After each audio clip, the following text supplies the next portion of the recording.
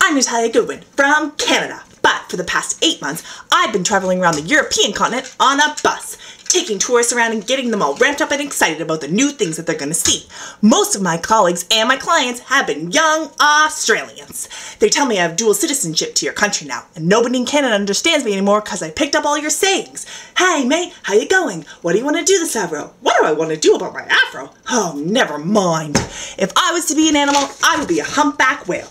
Mmm, because they come from Canada, but they get to go to the Great Barrier Reef every year, a World Heritage Site and a natural wonder of the world, and they get to go surfing and snorkeling. Okay, no, because they can't breathe out of water, which I knew. But then they come back up to Canada and tell all their mates about how great it is, like how you can see it from space, which is crazy. And that's what I would do.